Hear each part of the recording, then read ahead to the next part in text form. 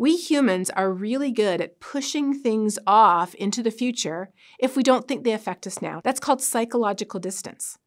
And when it comes to climate change, we see every type of psychological distance in play. You ask people across the United States, is climate change real and are you worried about it? Most people, almost three quarters of people, will say yes.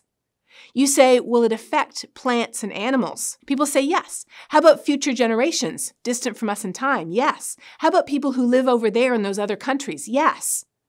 And then you ask people, do you think it will affect you? And the numbers plummet.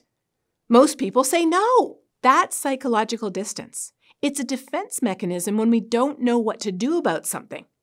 But today, psychological distance is also plummeting. The wildfire smoke, the heat waves, the floods. Today, the biggest question I get as a climate scientist is what can I do about it?